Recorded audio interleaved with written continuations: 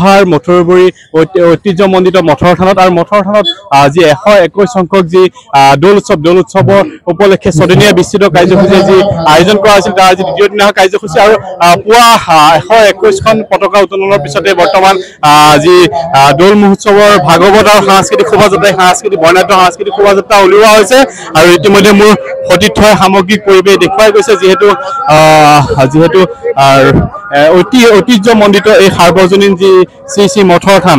এই মঠৰ থানৰ এক ঐতিহ্য আছে আৰু ঐতিহ্য ঐতিহ্যময় থানখনত এইবাৰ যিহেতু এশ একৈশ সংখ্যক যি দৌল উৎসৱ সেই দৌল উৎসৱ আয়োজন কৰা হৈছে। দৌল উৎসৱ উপলক্ষে আজি দ্বিতীয় দিনৰ কাৰ্যসূচী দ্বিতীয় দিনৰ কাৰ্যসূচী এনেদৰে ভাগৱত ভ্ৰমণ আৰু সাংস্কৃতিক শোভাযাত্ৰা উলিওৱা হৈছে। মোৰ সতীৰ্থই সামগ্ৰিক পৰিৱেশ দেখুৱাইছে।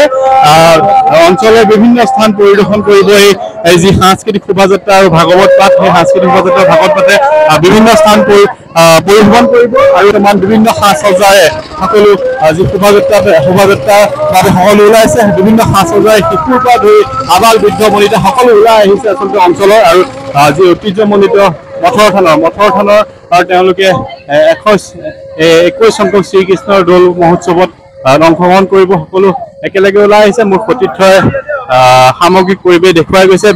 ছদিনীয়া বিস্তৃত কাৰ্যসূচীৰে যিহেতু তেওঁলোকে এই যি ঐতিহ্যমণ্ডিত শ্ৰীকৃষ্ণৰ দৌল মহোৎসৱ আয়োজন কৰিছে আৰু দৌল মহোৎসৱৰ আজি দ্বিতীয়টো দিন আৰু দ্বিতীয়টো দিনত এনেদৰে বৰ্তমান সাংস্কৃতিক শোভাযাত্ৰা উলিওৱা হৈছে। মই উদ্যোক্তাসকলৰ লগত কথা পাতিব বিচাৰিম যিহেতু আজি এই পথ দ্বিতীয়টো দিন দ্বিতীয়টো দিনত এনেদৰে বৰ্তমান থান প্ৰাংগণত বিভিন্ন বিভিন্ন স্থানৰ পৰা আহি ৰাইজ আহি উপস্থিত হৈছে। আচলতে আৰিমত্ৰ ৰজাই আৰিমত্ৰ ৰজাই এই থানখন নিশ্চয় স্থাপন কৰিছিল বুলি কথিত আছে। আমি আন্তৰিক শুভেচ্ছা জ্ঞাপন হয় কৰিলোঁ। হয় নমস্কাৰ। আপোনালোকলৈ আমি অশেষ শ্ৰদ্ধা জ্ঞাপন কৰিছো।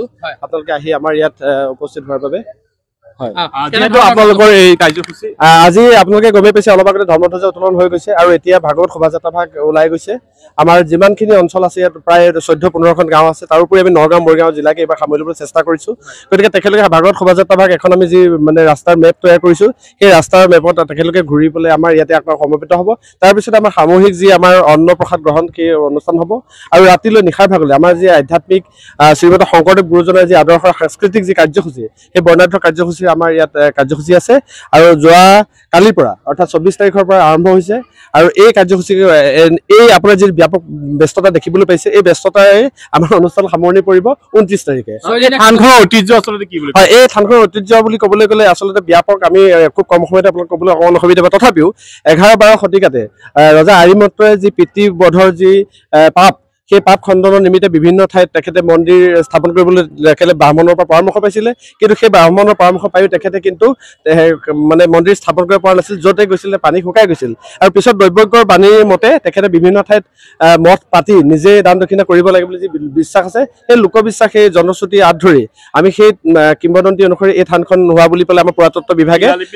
হয় হয় ইয়াত যথেষ্ট শিলালিপি আছে আৰু শিলালিপিসমূহত বিষ্ণু মূৰ্তি গণেশ মূৰ্তি সূৰ্য ৰজাৰ এটা চানেকি পোৱা যায় আৰু পুৰাতত্ব বিভাগে বিভিন্ন ধৰণৰ কথাবিলাক মানে ইতিমধ্যে প্ৰমাণ কৰিছে। আৰু সেই সম্পৰ্কে আমি ঐতিহাসিক মঠৰবৰী থানৰ এখন শ্ৰী শ্ৰী মঠৰ থান বুলি গ্ৰন্থ এভাগ আজি আমি উন্মোচন কৰিছো সেই গ্ৰন্থভাগতে আমি গোটেইখিনি বিস্তৃত আকাৰে তাতে বিৱৰণ দাঙি ধৰিছো। আৰু পৰৱৰ্তী সময়ত আমি আশা কৰিছো যে ইয়াৰ সম্পৰ্কে আমি বিশেষজ্ঞসকলৰ পৰা বা পণ্ডিত মহলৰ পৰা যথেষ্ট আমি তথ্য আৰু লাভ কৰিবলৈ সক্ষম হ'ম। ধন্যবাদ। নিশ্চয়কৈ আছিলে উদ্যোক্তাসকল। তেওঁলোকে কৈছে যে এঘাৰ শতিকাতে ৰজা আহ, আৰিমত্তই এই থানখন প্ৰতিষ্ঠা কৰিছিল বুলি কথিত আছে আচলতে। আৰু তাৰ পিছৰ পৰা আচলতে পৰৱৰ্তী সময়ত যি ঐতিহ্যমণ্ডিত দৌল মহোৎসৱ দৌল মহোৎসৱ ইয়াত আয়োজন কৰা আয়োজন কৰা হয় আৰু বৃদ্ধ বনিতা সকলো আহিছে। মই এগৰাকী আইতা আছে তেওঁৰ লগত পাৰিলে কথা পাতিম। আইতা আজি দৌল মহোৎসৱ কৃষ্ণ আপুনি ইয়ালৈ আহিছে আচলতে কেনে কেনে লাগিছে আপোনাৰ? বঢ়িয়া লাগিছে। আমি সদায় পাই থকা নিচিনাই বস্তু এভাগ আমাৰ। সদায় আমি পাই থকা নিচিনাই বস্তু সদায় নামে কীৰ্তনে সদায় হৈ থাকে। আমি ভাল পাওঁ। আপোনাৰ এতিয়া কিমান বছৰ হ'ল? আশী বছৰ হ'ল। হয়। আপুনি এই থানখনলৈ কেতিয়াৰ পৰা আহিছে আচলতে? মই আহিয়ে থাকোঁ প্ৰায় ভাগেই আহোঁ। এতিয়া আহিব নোৱাৰা হোৱাৰ পৰা অকণমান তেওঁ কমিছে অহাটো আৰু এতিয়া এডালকে লৈ লৈনো কিমান অহা যোৱা কৰিবা। ধন্যবাদ। এগৰাকী আশী উদ্ধৰা আইতা তেনেদৰে বৰ্তমান তেওঁ যি ঐতিহ্যমণ্ডিত যি দৌল উৎসৱ আচলতে সাৰ্বজনীন মঠৰ থানৰ যি দৌল উৎসৱ এই দৌল উৎসৱলৈ আহিছে। আৰু এনেদৰে বৰ্তমান ৰাজ্যৰ বিভিন্ন প্ৰান্তৰ পৰা ইয়াত যিসকল ভক্ত ভক্ত আহি ইয়াত উপস্থিত হয়। আৰু আজি দ্বিতীয় দিন আজি দ্বিতীয় দিনৰ কাৰ্যসূচী পুৱা আচলতে পতাকা উত্তোলনৰ পিছতে এতিয়া ভাগৱতৰ সাংস্কৃতিক শোভাযাত্ৰা হৈছে। আৰু তাৰ পিছতে বিভিন্ন বৰ্ণাঢ্য কাৰ্যসূচীয়ে ছদিনীয়া কাৰ্যসূচীয়ে ইয়াত কাৰ্যসূচী ৰূপায়ণ কৰা হ'ব। আৰু সমূহ ৰাইজৰ উপস্থিতি উদ্যোক্তাসকলে কামনা কৰিছে। আৰু এনেদৰে বৰ্তমান যি দ্বিতীয় দিনৰ কাৰ্যসূচী দ্বিতীয় দিনৰ কাৰ্যসূচী বৰ্তমান চলি আছে।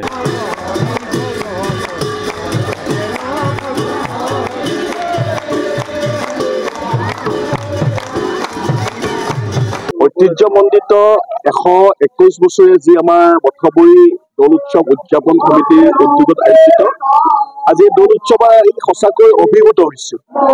ঐতিহ্যমণ্ডিত এই ঠাইডোখৰ পূৰ্বতে আমাৰ মৰিগাঁও সমষ্টি আছিল। কিন্তু সমষ্টি পুনৰ নিৰ্ধাৰণৰ জৰিয়তে পোনপ্ৰথমবাৰৰ বাবে আমাৰ অহাৰ লগত অন্তৰ্ভুক্ত হৈছে। আৰু এই ঐতিহ্যমণ্ডিত ঠাই স্থানভাগত আহি সঁচাকৈ আজি ভক্তপ্ৰাণ ৰাইজৰ যিটো উদুলি মুদুলি যিটো পৰিৱেশ ভক্তি ৰসৰ যি পৰিৱেশ ইয়াতে সৃষ্টি হৈছে দ্বিতীয় বৈকুণ্ঠপুৰীলৈ পৰ্যবেক্ষিত হ'ব পৰাকৈ গোটেই আধ্যাত্মিক পৰিৱেশে ইয়াত বিৰাজ কৰিছে। আৰু এনে এভাগ ঐতিহ্যমণ্ডিত তীৰ্থত আহি পেলাই সঁচাকৈ অভিভূত হৈছো আগন্তুক সময়ত আমি আমাৰ এই তীৰ্থভাগক যাতে আমি আৰু আমাৰ উত্তৰ পূৰ্বৰ কাৰণে যাতে শক্তিশালীভাৱে যাতে আমি আগুৱাই লৈ যাব পাৰোঁ তাৰ কাৰণে শ্ৰদ্ধা ভক্তি সহকাৰে কাম কৰাৰ প্ৰতিশ্ৰুতি আমি ৰাখিছো। আজি এই দৌল মহোৎসৱত সকলো ভক্তপ্ৰাণ ৰাইজৰ পদদোলা ল'বলৈ পাই অত্যন্ত সৌভাগ্য অনুভৱ কৰিছো। সেই সকলোলৈকে পবিত্ৰ দৌল উৎসৱ উপলক্ষে মই আন্তৰিক ধন্যবাদ। আৰু কৃতজ্ঞতা আৰু অভিনন্দন জ্ঞাপন আজি কৰিছো দেখি দেখিবলৈ গ'লো যে আপুনি নাম প্ৰসংগতো ৰাইজৰ লগত অংশগ্ৰহণ কৰিছে হয় অত্যন্ত। মানে ইয়াতে যিটো ভক্তি ৰসৰ সঁচাকৈ পৰিৱেশে বিৰাজ কৰিছে আমিও যিহেতু সনাতনী আমি ধৰ্ম আমি সদায় মানি আহিছো।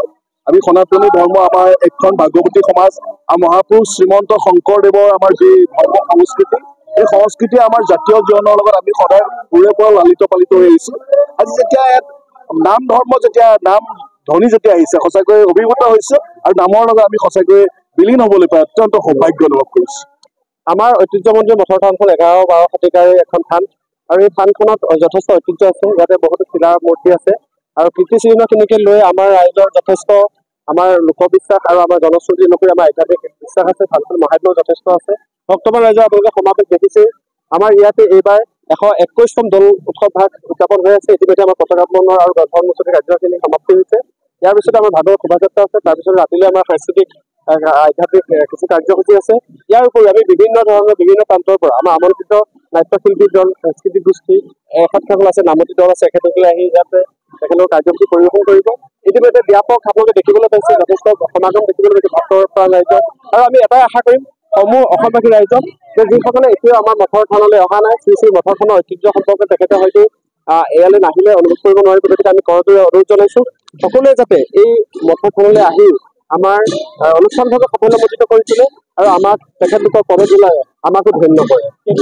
ইয়াত আমাৰ ছয়দিনীয়া কাৰ্যসূচী অনুষ্ঠিত কৰা হৈছে। কালি চৌবিশ তাৰিখৰ পৰা আমাৰ আৰম্ভ হৈছে আৰু ঊনত্ৰিছ তাৰিখলৈকে এই কাৰ্যসূচী বাক চলি থাকিব